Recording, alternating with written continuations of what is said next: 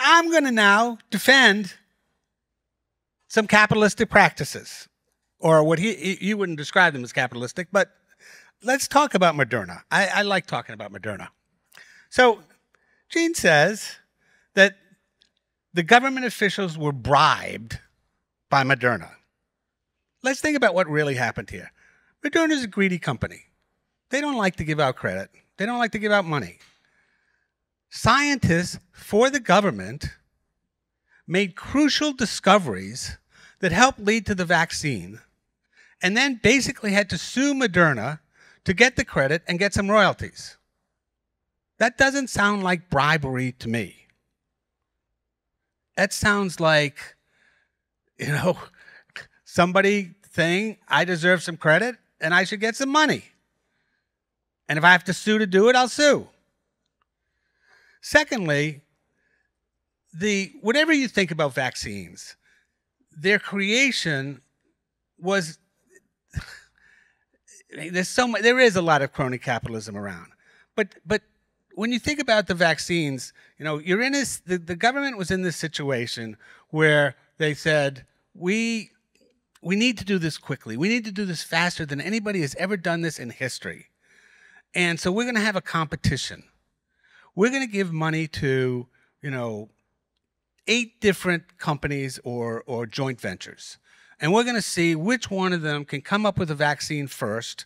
And the ones that come up with a vaccine first, we will help fund to, to, to distribute them.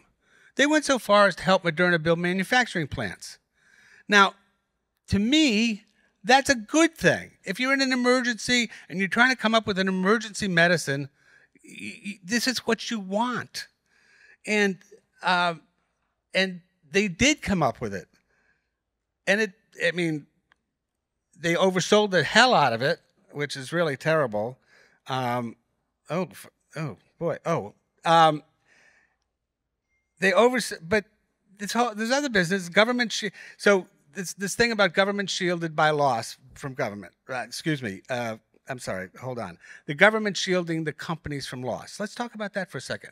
See, the problem the problem with Gene is he thinks about capitalism as it should be, in its purest form, the way Milton Friedman would want it, the way Adam Smith would want it.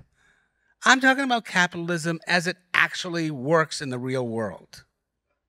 So, why did Pfizer and all these other companies want to be shielded from loss for vaccines? The answer is because they had come up with a vaccine for Ebola, thinking that would be a huge thing. It wasn't. So anybody who, who made a vaccine lost a lot of money. Same thing for uh, various other, um, uh, excuse me, uh, influenza uh, viruses. Uh, they came and they went, and they were no big deal, and vaccine makers lost money. So, vaccine makers basically said, I don't know whether this is going to be a big deal or not. If I'm going to get into this, if I'm going to spend billions of my own money, I need some I need some guarantee. I need to know that it's not going to cost me billions of dollars. Otherwise, I won't do it. That's how capitalism, that's how it works in the real world. You know, that's how it works because they want to make money. And so, to me, being shielded from loss by the government was not a bad thing. It was a good thing. The bad thing, as long as we're talking about vaccines, is that when they became available, Fauci and everybody else oversold the hell out of it. They should have said, we don't know whether it transmits or not, because they hadn't tested for that. That was not part of the phase two, phase three testing. They hadn't tested for it. What they should have said was it will reduce death and disease, uh, death and illness. And that's what it did. It reduced death and illness, but it didn't reduce transmission. Everybody got transmission when, uh, um, what was the name of that one that came after Delta? Um, Omicron. After when everybody got it. I got it. I didn't even know I had it. Um, I agree with Gene that what what did you call it? Crappy. What do you call it? There's a lot of capitalism around. uh, yeah, sure. Okay, fine. There is. my point was th- that is the kind of capitalism that causes problems. The purity of his capitalism doesn't exist. It doesn't exist, at least not in the United States. So to say that that kind of capitalism was a net plus for for COVID or didn't have any effect on COVID is silly. Because did I say this before? It doesn't exist. And I think I've got another minute or so, but you know, I don't really need another minute or so because I think I think I've made my point. Thank you, Joe. Gene, you have 7.5 minutes for your rebuttal. Please take the podium, Gene. Well, uh, you, are speaking uh, to the utopian Gene Epstein, uh, and uh, I, I only want to remind Joe that, as I said, there really is a lot of capitalism in the U.S. It is a very common error to define capitalism as a system of profit. Uh, look all around you. Companies go bankrupt all the time. Most startups uh, fail after a few years. Uh, the companies that were dominant 20 years ago, uh, many of them are now non existent or on their knees. And so, really, I'm not asking for utopia. I'm only asking for the system of profit and loss with which many companies in this country do have to cope by and large. And uh, therefore, I would want to ask Joe that uh, when Rand Paul said the same people who got royalties were dictating policy, or when Joe says that Fauci the scientists, Rochelle Walensky, were claiming that the vaccines did what vaccines were supposed to do protect you against infection. And they did this without any basis whatsoever in science. Joe isn't appalled the way I am uh, uh, uh, because he's very tolerant of crony capitalism. Clearly, Fauci, when asked a number of times by Rand Paul, uh, do you get money from these companies? he fumfed. He said, Oh, I don't think so. Uh, he, clearly he does. Clearly he profits.